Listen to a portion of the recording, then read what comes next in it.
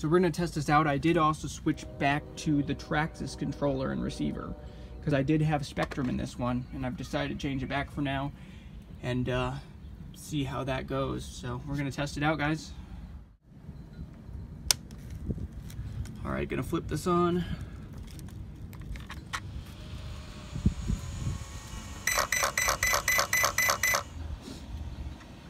All right guys, this is the first test with this motor and the ESC setup, so.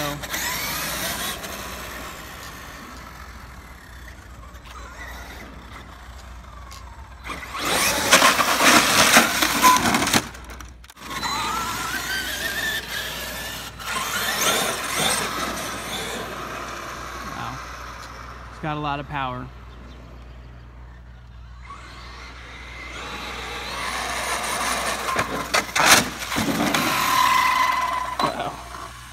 Luckily I didn't run that right into myself.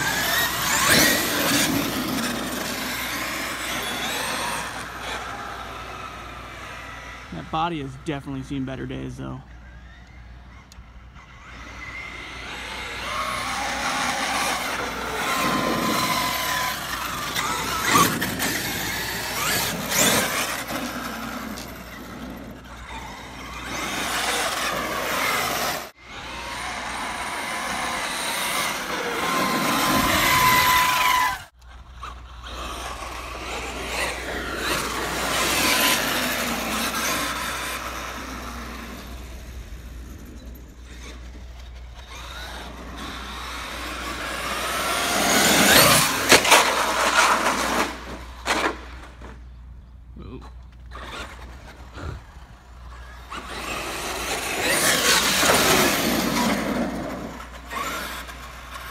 Yeah, this thing's a bit of a handful actually.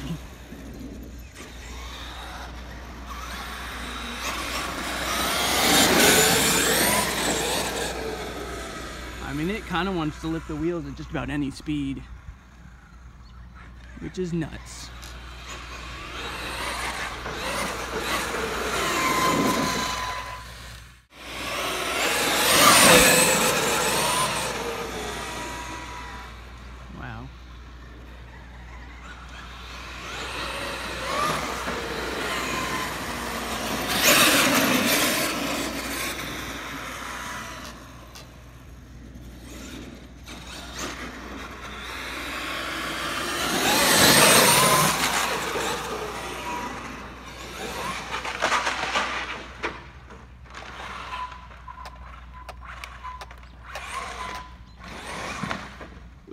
I just blew the tire wide open, guys. I uprighted it, but yeah, that. Look at my tire. Oh, geez.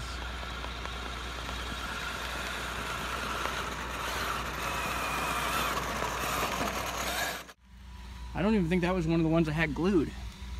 That's unfortunate, but.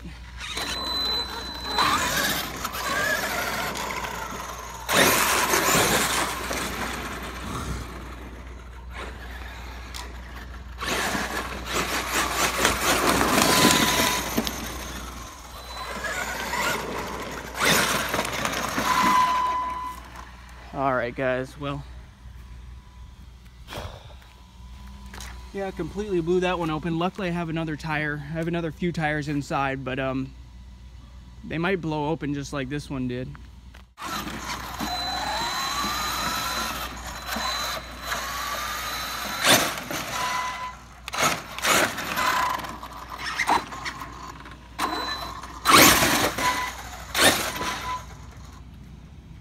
Pretty sweet.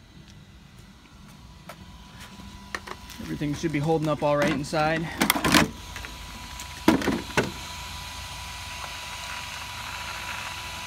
Just trying to make sure that that motor hasn't shifted at all. Because I had the pinion set.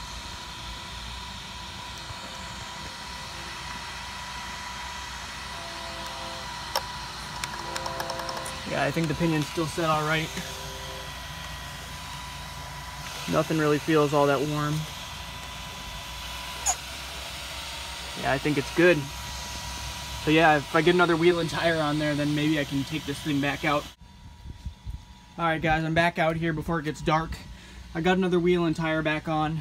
Um, Not sure how well these are gonna hold up, but I still got some battery left, so I figured may as well take it back out and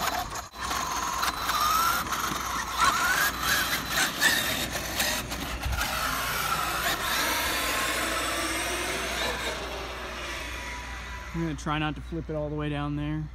I really don't want to go get it.